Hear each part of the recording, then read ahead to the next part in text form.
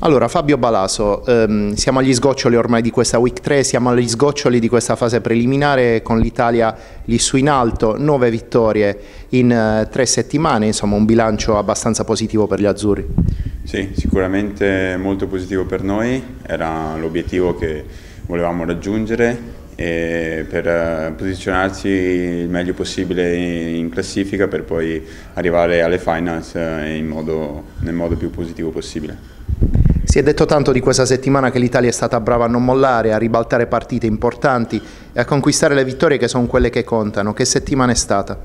Ma è una settimana molto importante per noi perché abbiamo raggiunto, abbiamo fatto dei passi in avanti anche sotto, sotto il punto di vista del gioco, abbiamo migliorato alcune cose che magari nella, nella scorsa settimana non erano andate benissimo e adesso comunque eh, arriviamo a quest'ultima partita eh, molto importante per noi ma anche e soprattutto per loro eh, dove vogliamo continuare il nostro percorso di crescita per arrivare al massimo alle finals.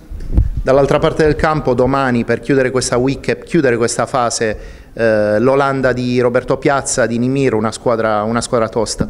Sì, eh, come ho detto prima è una partita molto importante per loro eh, perché comunque vogliono cercare di, di portarsi a casa questi tre punti o comunque questa vittoria perché vogliono rimanere all'interno de delle prime otto.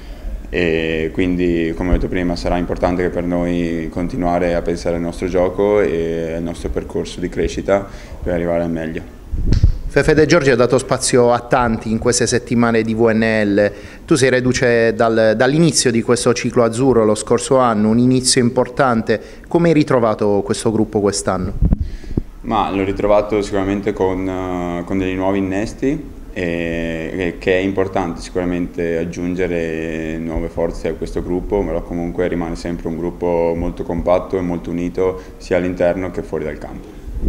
Con Leonardo Scanferla condividete le chiavi della seconda linea azzurra per questa settimana, insomma ehm, parliamo del gruppo appunto come ti, senti, come ti senti integrato, come vi sentite integrati in questo gruppo allargato?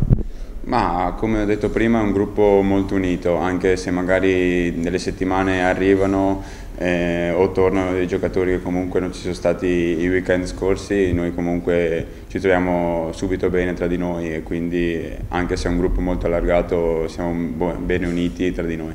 Sempre a proposito del gruppo, si è detto tante volte questo No Italia, tra l'altro eh, nato proprio da una tua idea, che significa per Fabio Balaso No Italia? Beh, il noi è proprio, secondo me, è la parola che raggruppa tutte, tutti noi, tutti noi come gruppo, ma anche tutti i tifosi che ci seguono da casa. E a proposito di, di, tifosi, un occhio già alle finals di Bologna. L'Italia ci arriverà comunque da prima con la speranza di arrivarci anche sul campo da prima. Che finals eh, saranno in un'Unipol Arena sicuramente vestita a festa? Sicuramente sarà delle finals eh, molto, molto importanti per noi perché ce la giochiamo in casa.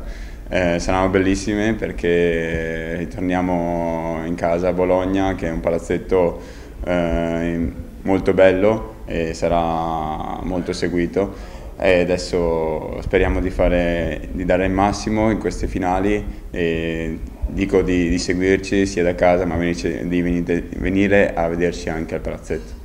È un momento importante per te l'Europeo, lo scudetto, con quali sogni è arrivato Fabio Balaso a quest'estate azzurra? Beh, I sogni non si finisce mai di sperare, quindi spero, spero in grande in questa VNL, in questa finale di VNL e anche per il Mondiale.